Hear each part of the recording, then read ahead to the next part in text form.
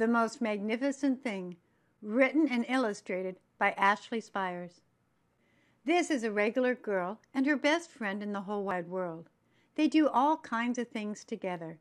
They race, they eat, they explore, they relax. She makes things. He unmakes things. One day, the girl has a wonderful idea. She is going to make the most magnificent thing. She knows just how it will look. She knows just how it will work. All she has to do is make it. And she makes things all the time, easy peasy. First, she hires an assistant. Next, they gather their supplies.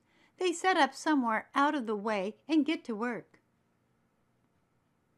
The girl tinkers and hammers and measures, while her assistant pounces and growls and chews. When she is finished, she steps back to admire her work.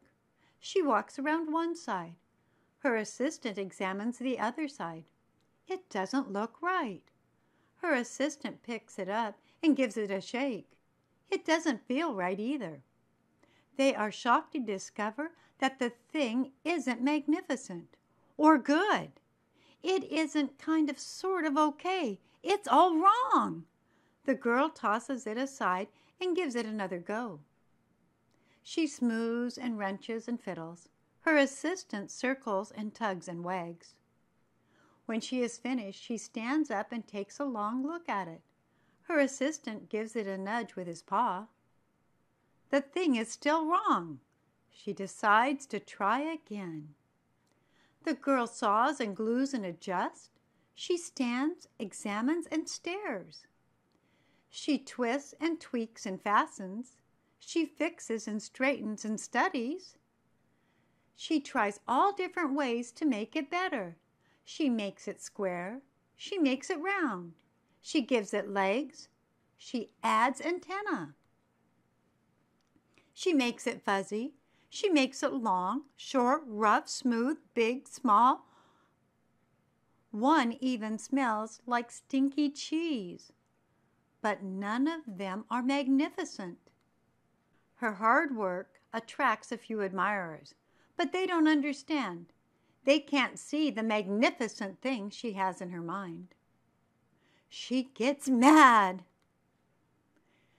The angrier she gets, the faster she works. She smashes pieces into shape. She jams parts together. She pummels the little bits in. Her hands feel too big to work, and her brain is too full of all the not right things. If only the thing would just work. Crunch! The pain starts in her finger. It rushes up to her brain and she explodes. It is not her finest moment. I'm not good at this. I quit. Her assistant suggests a walk. It's not much help at first. But before long, she starts to feel different. Bit by bit, the mad gets pushed out of her head. As they stroll along, she comes across the first wrong thing she made. The bad feelings are about to start all over again. Then she notices something surprising. There are some parts of the wrong things that are really quite right. The bolts on one, the shape of another, the wheel to seat ratio of the next.